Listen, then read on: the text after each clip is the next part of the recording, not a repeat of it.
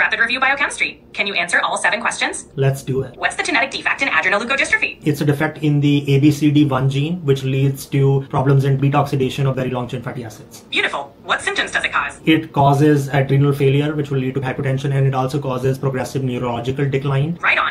What is Zellweger syndrome? Zellweger syndrome, the defect is in peroxisomal biosynthesis, and here the defect is, I think it's PEX1 gene. Perfect. Describe the clinical features of Zellweger syndrome. There are craniofacial defects along with neurological issues, severe hypotonia, seizures, and liver problems. Correct. What's the core biochemical issue in Refsum's disease? Here the problem is in alpha oxidation of very long chain fatty acids, leading to buildup of phytanic acid. Correct. What are the characteristic findings in Refsum's disease? Here, because of phytanic acid buildup, it affects the eyes, causes retinitis pigmentosa. It affects the nose, causes anosmia. It affects the ears, so it can lead to hearing loss. Apart from that, it also causes ichthyosis because it deposits in the skin, and cerebral ataxia and peripheral neuropathy. Beautiful. What's the inheritance pattern for all these peroxisomal disorders? Autosomal recessive. Correct.